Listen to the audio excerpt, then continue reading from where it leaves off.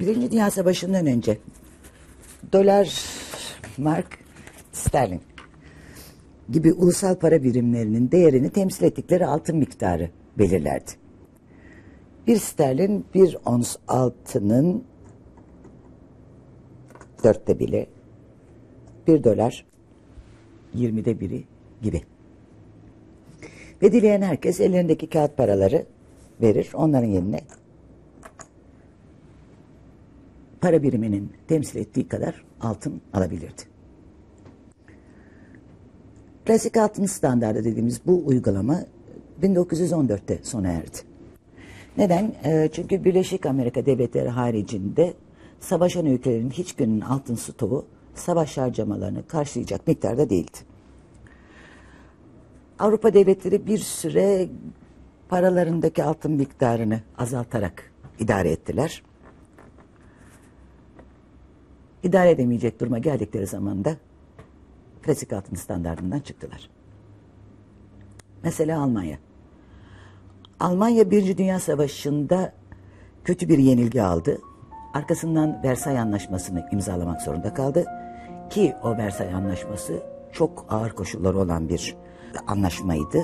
Savaş tazminatları derken 1922'den itibaren ağır bir ekonomik buhranın içinde buldu kendini.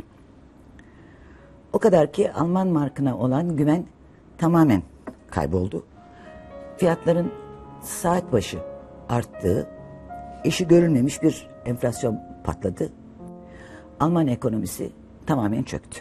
Almanlar bir somun ekmek alabilmek için fırınlara bir el arabası dolusu kağıt para mark götürmek zorunda kalıyorlardı. Böyle bir durumda altın şöyle dursun. Çavdar bitkisinin değerini esas alan bir para çıkartmak zorunda kaldılar. Bu paraya çavdar parası dendi. Ağustos 1923'te oluyor bu.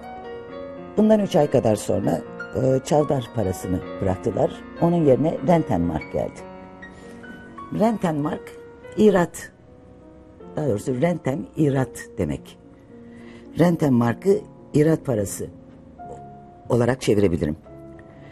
Rentenmark'ın karşılığında ülkedeki tüm mülklerin ve sanayi kaynaklarının ipoteği gösteriliyordu. Adı da buradan geliyor zaten Rentenmark. Rentenmark sadece iç ödemelerde kullanılabiliyordu. Bir Rentenmark bir trilyon kağıt paraya eşitti. Düşünün enflasyonun boyutlarını. Öte yandan Almanya'daki kadar değil ama enflasyon İngiltere'yi ve Fransa'yı da sarsıyordu. Sonuçta klasik altın standardından toptan vazgeçildi. Onun yerine altın alım satım standardı denen uygulama aldı. 1922 Cenova Konferansı. Altın alım satım standardının e, bir diğer adı da sözde altın standardıdır. Sözde e, çünkü bu yeni düzenleme altın sikkeyi tedavülden kaldırdı. Avrupa devletlerine vatandaşları eskiden olduğu gibi e, kağıt paralarını bankalarda altınla değiştiremez oldular. Altın bundan böyle sadece uluslararası ödemelerde kullanılacaktı. Ulusal para bilimleri sterlin, frank yine e, bir ons altının e, muhtelif kesirleri olarak ifade ediliyorlardı. Ama yeni uygulamayla birlikte altın para birimlerinin dayandığı tek değer olmaktan çıktı. Amerikan doları hariç. Dolar altına dayanan tek para birimi olarak kalmayı sürdürdü. İngilizler sterlini hem altın hem de e, dolara dayandıkları bir e, sistem geliştirdiler. Diğer Avrupa ülkeleri ise kendi paralarını sterline dayandırdılar. Böylece doların altına sterlinin dolar ve altına diğer tüm para birimlerinin de sterline dayandığı bir sistem oluştu. Bu durum 1931 yılına kadar böyle devam etti. 1931 yılı Fransa'nın ihracatının 52 milyar franktan 20 milyar franka düştüğü yıl. Fabrikaların kapanma noktasına geldiği, üretimin durduğu yıl. Ülkesinin içine düştüğü durumdan haklı olarak ürken popüler cephe hükümeti elindeki sterlin stokunu altına tahvil etmeye kalkıştı. İngiltere'nin siyasi dayatması e, işe yaramadı. Ama İngiltere'nin Fransa'nın altın talebini karşılayacak hali de yoktu. Böylece İngiltere altın alım satım standartından vazgeçti. İngiltere vazgeçince onu diğer Avrupa ülkeleri takip ettiler. 1931-1945 yılları tarihe mali kaos yılları olarak geçti. Altın standartından çıkan ülkeler paralarının karşılığında altın verme taahhüdünden kurtulmuşlardı. Hükümetler bu durumu istismar etmekten geri kalmadılar. Burada istismar etmekten kastım paralarının değerlerini ekonomik olarak değil sila, e, siyasi mülahazalara göre kararlaştırmalarıdır. Örneğin e, rakip ulusun mal satmasını önlemek için yapılan devalüasyonlar gibi. Rakip ulus da aynı şekilde karşılık verince para ile değerin bir ulusun parası ile öteki ulusun parasının arasındaki ilişkinin saptanamadığı kaotik bir durum ortaya çıkar. Kimin ne yaptığı belli olmayan e, bu durumda dünya ticareti yüzde 63, fiyatlarsa yüzde 48 düştü. Altın standartına geri dönmek gibi bir umut da kalmamıştı. Uluslararası alım satım ve ticaret hemen tamamen durdu. Ülkeler kendi aralarında takas yöntemiyle bir şeyler alıp satma çalıştılar. Amerikan Hazine pardon Dışişleri Bakanı Cordell Hull Avrupa'da yaşanan bu mali kaos İkinci Dünya Savaşı'nın çıkmasının asıl nedeniydi. Cordell Hall öyle diye dursun. Altın standartının aslında hiç de istenir bir şey olmadığını savunanlar vardı. Friedmancılar. Milton Friedman, Chicago Üniversitesi'nde mali konularda Friedmancılar olarak bilinen düşünce ekolünün, ekolünün yaratıcısıdır. Friedmancılara göre paranın altınla ifade edilmesi gereği düşüncesinden toptan vazgeçilmeliydi. Ulusal paraların değerlerini serbest piyasa ekonomisinin arz talep dinamiği uyarınca bulunmasına izin verilmeliydi. Çünkü altın netice itibariyle bir madendi. Ve e, önemsenmesi Midas'tan bu yana süre gelen bir alışkanlıktan ibaretti. Altına atfedilen değer rasyonel değildi. Hatta insanlığın barbar dönemlerinden kalma bir kalıntıdan ibaretti. Bu son söylediğim laf e, Maynard Keynes'den. Oysa e, yaşayan bilirdi krizlerden çıkmak için nelere ihtiyaç olduğunu. Ekonomiyi canlandırmak için para gerekiyorsa hükümetler stokta altın vardı yoktu diye aldırmayıp insanların alım satım yapabilmesini sağlayacak parayı mümkün kılacak bir ortak araç geliştirmeliydiler. Ve bu ortak aracın e, değeri kendinden menkul olmalıydı. Yani bir mutabakatla karar verilmeliydi değerin ne olacağına. Paranın başlangıç değerini hükümetler karar vereceklerdi ama para sahici e, değerini serbest piyasada, uluslararası serbest piyasada dalgalanarak bulacaktı. Altın esasına dayanmayan bu paralara fiyat para adı verildi. Bildiğimiz eder anlamında fiyat değil, fiat, F-I-A-T. Amerikan İngilizcesi bir e, kelime bu.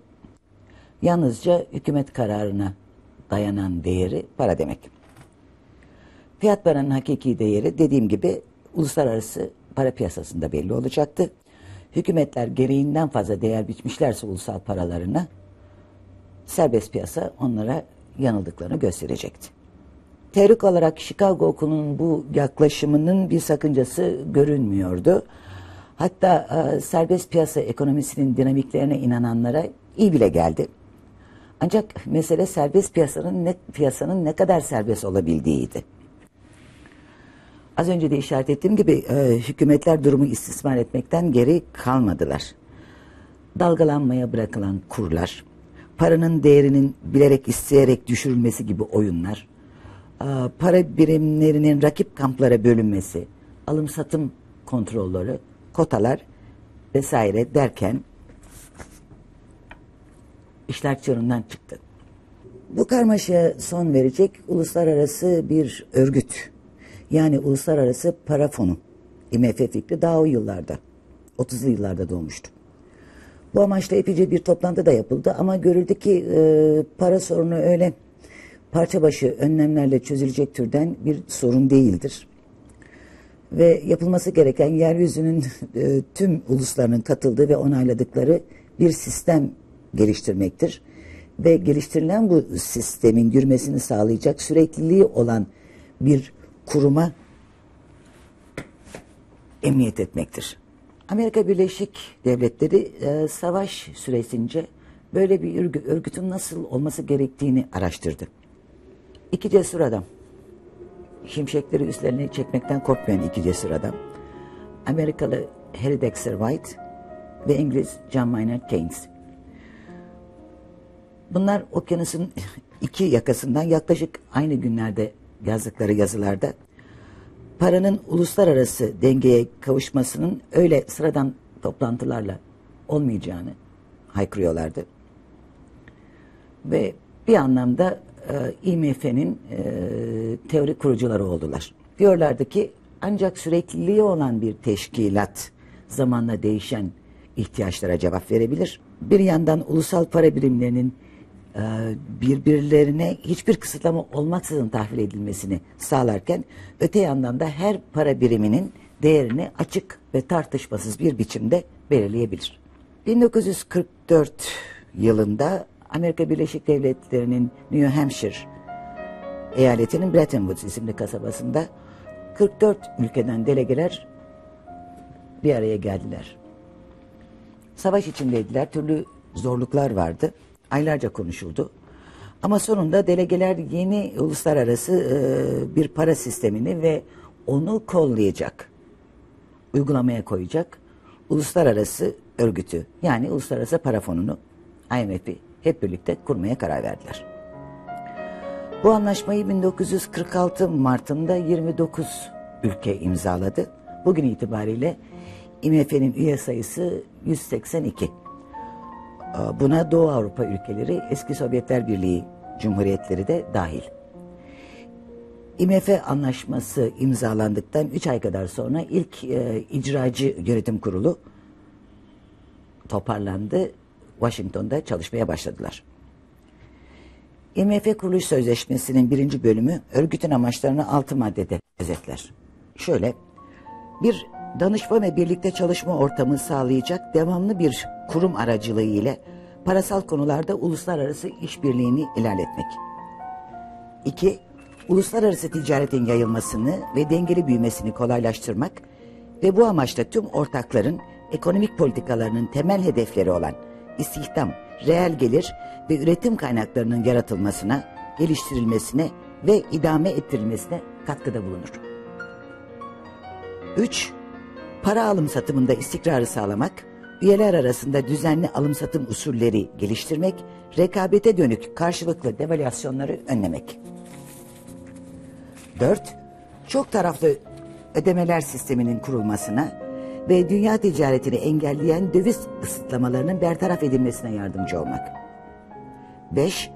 Fon kaynaklarını üyelere geçici süreyle ve yeterli garantiler altında tahsis etmek suretiyle üyelerin güvenlerini arttırmak ve dış ödemeler dengelerindeki aksaklıklarını ulusal ya da uluslararası refaha zarar vermeden düzeltmelerine fırsat tanımak.